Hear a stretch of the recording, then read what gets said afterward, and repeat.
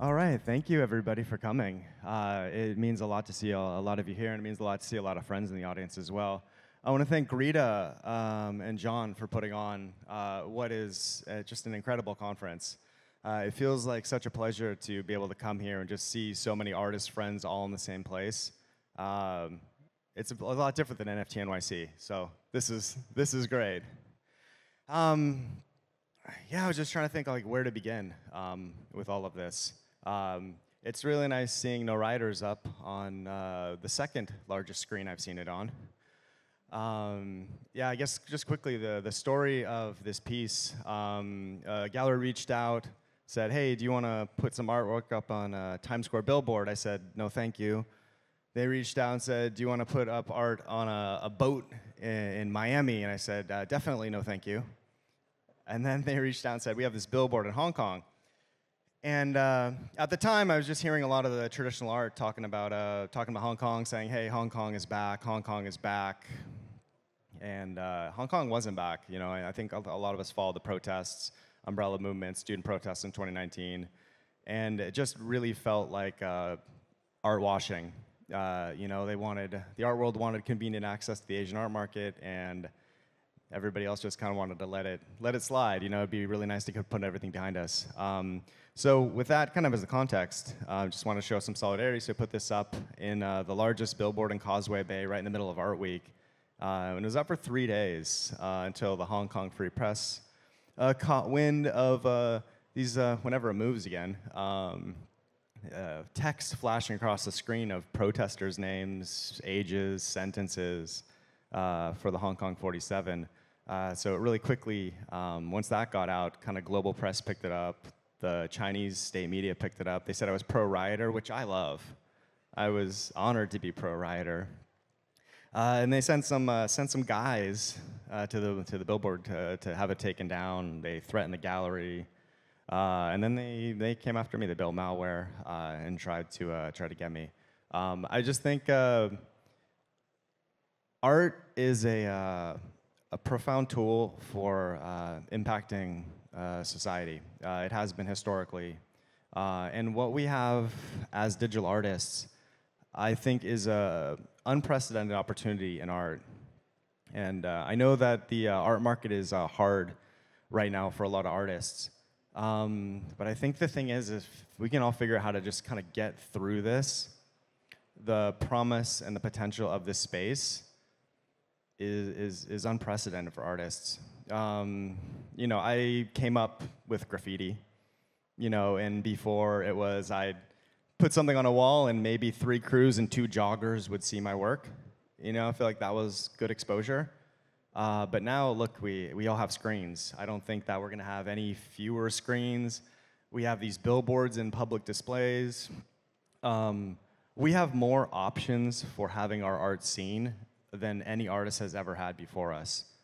So if you look at the ability for us to impact the culture, you just look at how many options we have to have our work get out there uh, we're in a really unique really unique place right now. So I think that people that want to have an impact, uh, we have more avenues to do that than we've ever had before.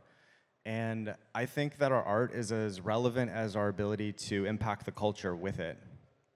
And if you look at how we can impact the culture and just how many people we can touch with our work right now, it's more than it's ever been before. And I think it's just going to increase. Um, I can't imagine that we're going to get away from screens. I can't imagine that anybody here will have less of an opportunity to impact people in the future.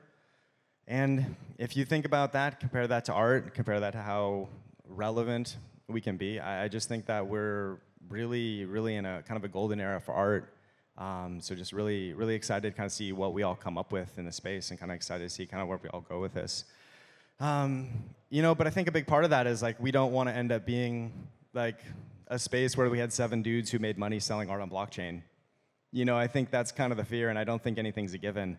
Um, I think that we could end up being this global inclusive art movement. I think that you, you know, I know that a lot of us have seen Osinachi here. Um, I know that we've seen a lot of people from around the world in places that traditionally don't have access to art markets. A lot of collectors around the world.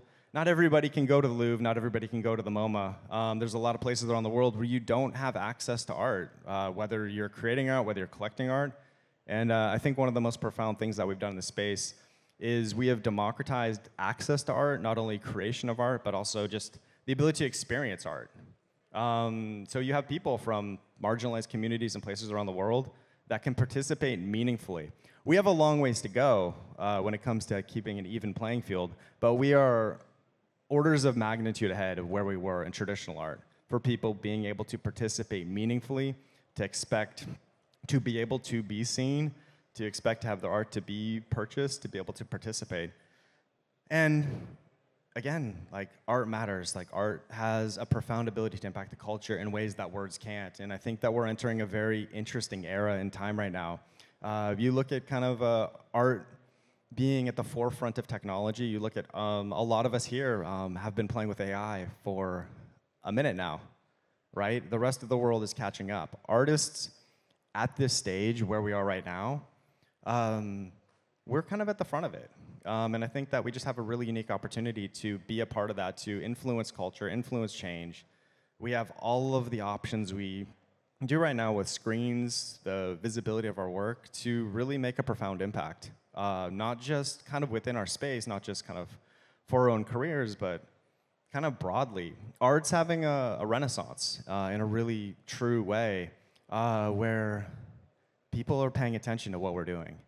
Uh, people are being able to consume art, be able to appreciate art in a completely different way than they have before. Um, so if you kind of look at that, I know it's like, I know it's hard right now uh, for a lot of artists to make, make sales and make a living with this. You know, it's not 2021 anymore. But at the same time, we've matured quite a bit since then. And I, I feel like if you can figure out how to stick it out for the next couple years, uh, the artists here today, the artists here in this room, uh, your peers who couldn't make it here, um, really just kind of the front line of advancing this whole new era of art um, in our space.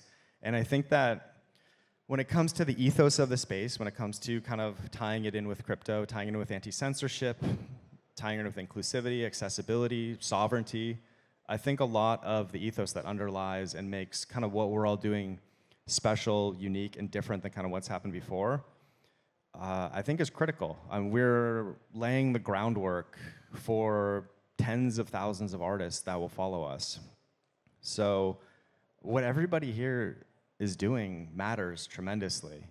Um, and it matters that we hold the line. It matters that we hold the line on what we believe in. It matters that, you know, we act principally, that we follow, you know, kind of our, our gut on a lot of these things. And as hard as it is, I know that what we're doing is essentially laying the foundation for what's to come for so many people. And uh, again, like it, it really truly matters. Um, and you know, I don't want to be, I don't want to be the scenario where it turns out to the seven dudes who sold money to sold art on blockchain is like a historical, art historical footnote as this weird little thing that happened.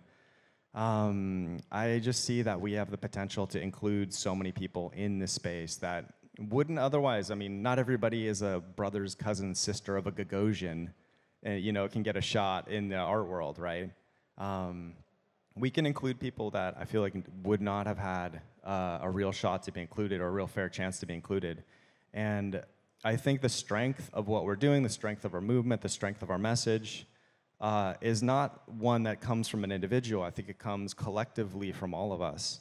Um, nobody cares if it's just a couple people selling art. I think what matters and what amplifies everybody's message is the ability for us to be inclusive, the ability for us to include everybody, the ability for to give artists around the world a chance to actually make a living or contribute to their living doing this. Um, that's what's ultimately going to increase the profile of art. It's what's going to drive people to pay attention to art.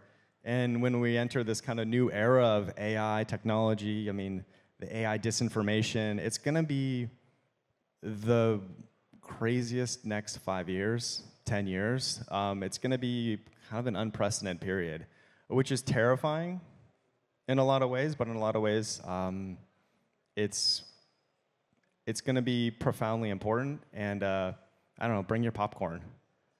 You know, so. I don't know. I think so. I just want to say um, I really appreciate all of you. Um, and again, I think what we're doing truly matters. Uh, our ability to impact the world with art matters, and uh, you know, stick it out through this period. Um, we, you know, we we will live or die on our ability to include artists at the margins of the space. Um, you know, either our space is going to grow by allowing people who are most likely to leave to be able to have a real shot. And not everybody can be collected, I get that. We're still working on how many collectors are here. But if everybody has a fair shot, I think people are willing to put in the effort, and the people most likely to leave will stay, and we'll add more people, and their space will grow. Uh, if not, if we don't support the people at the bottom, if we allow the stratification of the space to kind of continue unchecked, uh, we will slowly die. And I think we kind of fight those two opposing influences. Uh, but ultimately, um, I think it just really comes down to us and holding on to our ethos, um, being aware of how important it is to have an inclusive and accessible art space, uh, and just making personal choices. Uh, again, it's a collective effort. If we all make personal choices to make sure that we're inclusive, uh, what we're doing ultimately all matters. Um, and you know, you've all made the journey out to Lisbon, um, and I think that what I've seen here so far this week has been profoundly inspiring. Um, it's a pleasure to see you all here. Uh, it's a pleasure to engage with you all online, and I am just incredibly excited to see kind of what happens next with all of this. Uh, so thank you all. Um, appreciate you all tremendously. And uh, yeah, I'll uh, be probably offending all of you at some point in the near future. Thank you.